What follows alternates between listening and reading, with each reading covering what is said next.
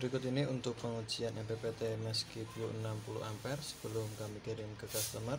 Kemudian ini untuk nomor invoice nya 14818987737 ya, langsung saja kita uji untuk yang pertama kali harus kita nyalakan di jalur baterai terlebih dahulu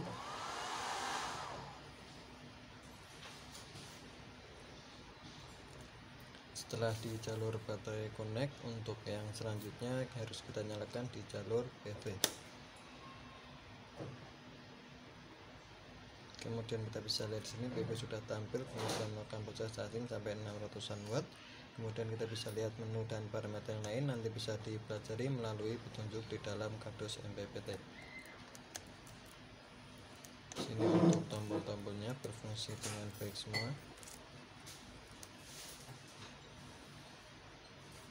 ya, kemudian untuk lepasan dari MPPT ini yang pertama kali harus kita lepas atau kita matikan di jalur PV terlebih dahulu. Kemudian untuk yang selanjutnya baru kita lepas atau kita matikan di jalur baterainya. Cukup sekian untuk pengujian sebelum kami kirim. Terima kasih